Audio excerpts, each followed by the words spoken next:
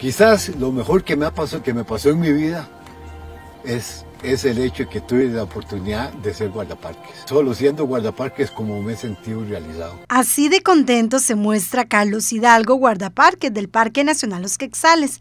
Él contó el amor que le tiene a su profesión. Cuenta con 21 años de experiencia, a los cuales 14 tiene estar en esta área protegida. La principal función que realizo aquí en el Parque Nacional Los Quexales es la de control y protección.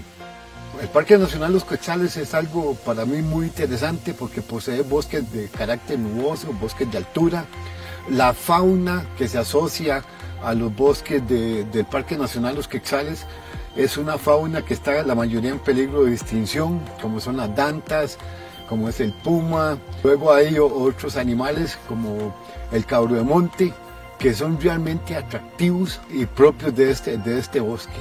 Hidalgo manifestó que muchas personas que no cuidan los bosques y generan daños, entre ellas quemas. Aquí en la época de verano, gente sin, irresponsable realiza quemas que muchas veces se introducen dentro del bosque ocasionando muchísimos daños de carácter irreversible al bosque. Me siento muy orgulloso de haber trabajado en este parque y principalmente porque estoy aportando algo para las futuras generaciones de costarricenses que no han nacido.